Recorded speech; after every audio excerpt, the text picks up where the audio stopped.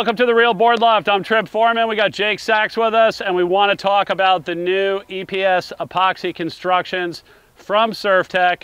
Break down the epoxy cloud of confusion and uh, break it down to what you're going to feel through your feet and in the boards that uh, it's available in. Uh, we got all of the AIPAs here. We got the AIPA Big Brother Sting, the Big Boy Sting, we got the Dark Twin, and we got the Wrecking Ball. And these four boards that we have with us, there's two constructions we're going to talk about. We're going to talk about Fusion HD, and we're also going to talk about dual core technology. Jake, that sounds super technical. There's a lot of technical phrases in here. But we're going to get super tech, and then we're going to break it down into just what that means for your surfing and get real simple. So, so we put we put Jake on librarian duty. Uh, he went on the interwebs and he dug deep into he went to the end of the internet, like over the hill, like into the shaded area of the internet to find out like all of the catchphrases and the terms and and what these things are supposed to do yep. for you. Uh, Jake, let's talk about Fusion HD first. Sounds good. Fusion HD is starts with an EPS foam core, uh, and then it, it has a wooden stringer so that's, you know, standard kind of EPS epoxy technology. Uh, they use a HD resin, epoxy resin, and they wrap that around this foam core. Uh, so it's, it's nice and nice and strong, very durable, but still has the characteristics of a stringered poly board as okay. well. Um, so the wooden stringer gets your flex um, and gives you that, that feeling uh, that you're used to, but then the uh, EPS core makes it nice and lightweight. Epoxy resin uh, is has more uh, elasticity to it, so it's not going to crack. You're, you can get your, you know, your pressure dense, your foot placement, but not have the cracks and the breaks like you would okay. normally uh, on a poly board. So let's talk about that like item by item, right? Yeah. So like the stringer, you know, that's going to give a familiar like PU stringered feel. Yep. Um, it's also going to give the board uh, like basically like a backbone, like a spine, right? Yep. And so like, you know, for durability conditions, like if you're in like a board breaking uh, wave scenario, like that's going to give the board like more strength. Yep. And also like what we just talked about, that familiar PU feel. I like what you talked about with the uh, with the epoxy resin, like having a, a more elasticity, because mm-hmm. mm -hmm. that's a huge selling point for epoxy. Is that and what that means um, is you could bend it further before it starts cracking. Yeah. And so uh, if you look at a lot of like kind of one or two year old poly boards, like you're gonna see a lot of like spider cracks across the bottom of the board. And those are basically all tiny like superficial buckles. Like you're yeah. losing the, the spring of the board. And so that elasticity helps out in a few different ways. It helps out with like minor dings in the board.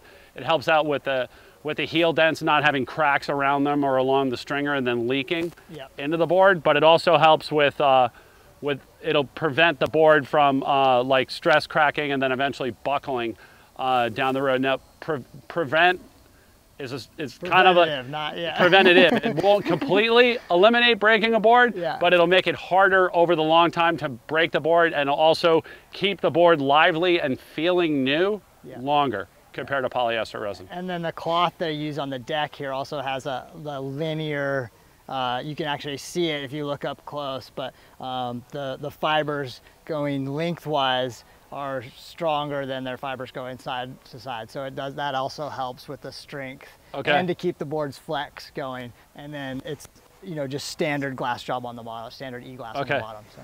And you know because I think whenever you say epoxy, everybody just gets confused. Yeah. You know, they think about like, and we're talking about SurfTech, right? So we can actually talk about SurfTech right. Tuf-Lite. They think about SurfTech Tuf-Lite from you know 15 20 years right, ago right. and the and they think all epoxy boards surf like those yeah you know which is and a very different construction huge yes. the only thing that's even close to being comparable and it's not even comparable is that they both had epoxy resin yeah but that that had a a, a darker colored something epoxy resin where this is like ultra clear yeah. epoxy but the reason that those boards surf the way that they did was that they had a, a or an ultra hard foam shell around them and that's what gave them the, the stiffer, more durable feel, yeah. where these don't have that hard formed shell.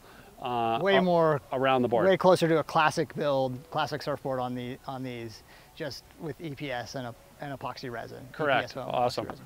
All right, cool. So that is the Fusion HD, and it's a stringered blank, uh, stringered EPS blank, HD epoxy resin, and Surftech's proprietary glass schedule in there.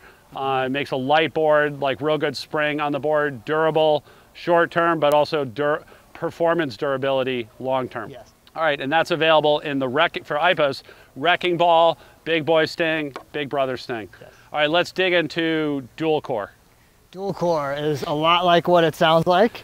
It's got uh, two different foams in the core. So they start with an EPS uh, foam core center, and then they wrap it with poly uh, foam uh, rails. So that helps with the uh, the flex, but also the strength on the rails. And then they have a higher density foam. You can see this black outline, higher density foam uh, stringer uh, that starts here on the on the rails. Also helps with the flex. So your nose is going to flex a little bit more than your than the core of the board. Right. Um, so it'll it'll move a little bit more. And then they have a carbon stringer that's on the outside of the foam. So no, so it's stringerless. Uh, in between the pieces of foam. Okay. And then they use this carbon uh, on on the glass layup on the outside of the foam as a stringer as well for strength. Okay. And then uh, standard, uh, same thing, proprietary uh, glass schedule there and epoxy resin on All this right. one as well. All right, so when you're going to a stringerless board, like when you take the wood stringer out of the board, what are you what are you going to feel compared to a stringer board? Yeah, you're trying to engineer the flex a little bit more. The wood stringer will flex pretty uniformly all the way through the board. Um, this one will have more uh, more flex in the nose and and the tail area, where these you can see this this uh, polyfoam stringer rail it ends at the tail and ends at the nose. So your nose and your tail are going to flex, flex a little more than your core. So what that does is when you load it up, it's going to have more spring. Like the tail, if you loaded uh, pressure onto the tail there, when you come out of the turn, it's going to spring uh, back to where it's it's comfortable with, but it'll load up more. And then same with the nose. As you drop in, it's gonna flex just that little bit more Okay. uh, to fit the shape of the wave.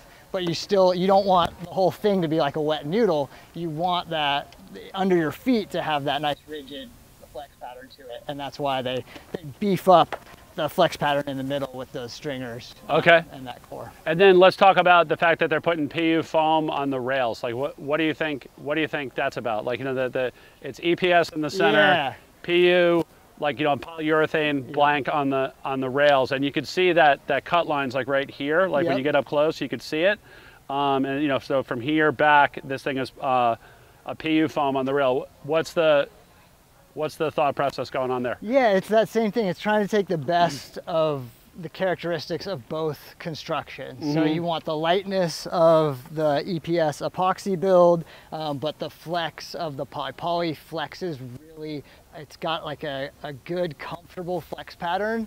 That, uh, sometimes EPS epoxy will be um, so flexy and snap back so quick that it actually like is quicker than you can move your feet. Okay. Whereas poly is a more even flex pattern. okay when you say poly to. you mean like polyurethane Polyurethane. the, the polyurethane foam or Yeah. PU foam okay Yeah, PU foam has a, a, a more even flex pattern uh, that's more, uh, you know, reliable as Okay. far as like when you're surfing it, it's going to do what you feel um, natural to you. So they're taking that, putting it on the rails, giving you uh, your flex pattern uh, from the stringers and from this uh, polyurethane on the rails, and then keeping the lightweight In the know, center where the mass center is. Where the yeah, exactly. And I know a lot of people, um, a lot of the PU fans, like they like the da- a damp Yep, feeling that yep. that you know the damp, you know damp, damp not meaning like damp like our shirts right now in the heat, but like like damp in a good way, like that it kind of dampens the vibration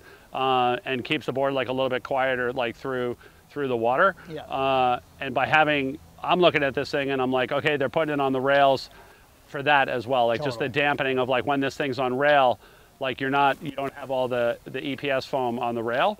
uh, you got something that's more familiar to their standard PU poly board on the rail. Exactly, and that, that kind of chittery feel that sometimes you get on a uh, with the EPS foam, Uh-huh. um, that has to do with the flex characteristics of the EPS, where it's like a little more uh, Like tightly chittery. wound. Yeah, tightly wound. Exactly. Okay. Yeah. yeah. Okay, awesome. Well, that's great. I mean, that gives us a good background on both of these technologies. Again, uh, the first technology that we talked about was the stringered EPS epoxy Fusion HD, available in the Wrecking Ball, the Big Boy, and the Big Brother. And secondly, we talked about the dual core EPS epoxy.